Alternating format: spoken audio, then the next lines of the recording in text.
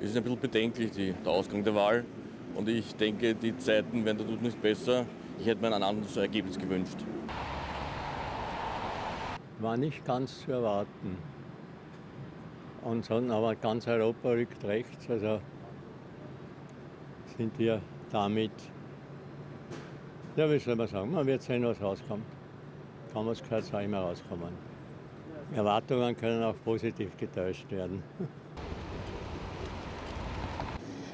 viel zu extrem, viel zu hetzerisch, viel zu hasserfüllt. Es ist nicht gut für Österreich und ich hoffe, es wird sich, er wird es nicht werden und die FPÖ nicht Bundeskanzler und die FPÖ wird, weiß ich nicht. Ich hoffe, dass sie irgendwann in der Versenkung verschwindet, aber es wird nicht sein. This is a historic result. Um, for one reason, uh, the Freedom Party came in first, um, and this uh, never happened before. Uh, but of course, also the second side of it is historic, uh, namely that the two bigger parties, the traditionally bigger parties, the Social Democrats and the People's Party, didn't uh, even get 50% of the votes.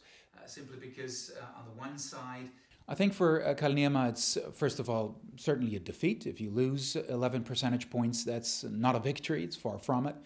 However, uh, he's in a position where he might hold on to the chancellery, um, even though um, the People's Party came in only second, uh, simply because uh, the Freedom Party um, might uh, have won the election, but might not get the chance uh, to be chancellor yet.